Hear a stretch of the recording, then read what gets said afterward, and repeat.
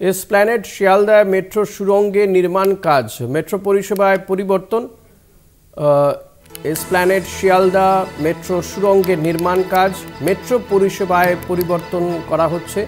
প্রতিনিধি শাশ্বতী রায় রয়েছেন আমার সঙ্গে টেলিফোনে। শাশ্বতী মেট্রো পরিষেবায় পরিবর্তন করা হচ্ছে বলে জানা যাচ্ছে। কি পরিবর্তন হচ্ছে?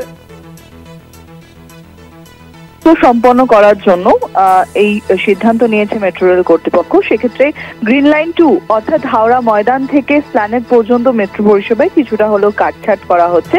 সেক্ষেত্রে দুটি বাউন্ডে এই মুহূর্তে মেট্রো চলাচল করে হাওড়া ময়দান থেকে স্প্ল্যানেট পর্যন্ত।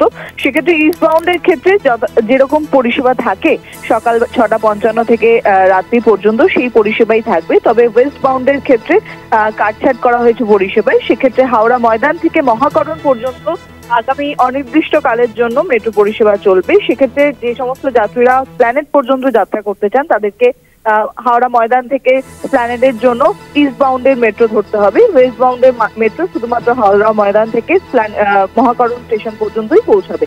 এই কাটছাটের অন্যতম কারণ হলো দ্রুততার সঙ্গে বাজারের ওয়েস্ট বাউন্ডের যে কাজ রয়েছে, সেই কাজ সম্পন্ন করার।